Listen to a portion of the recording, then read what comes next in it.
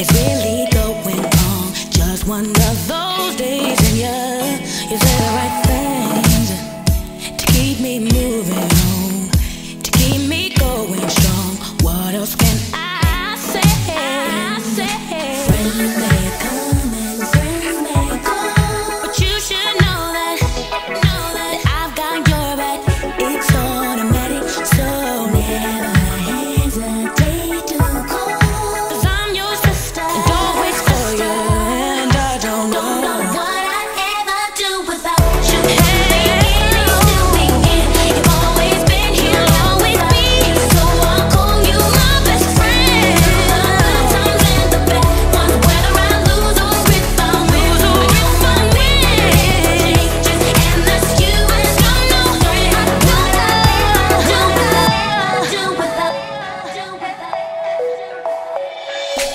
friends.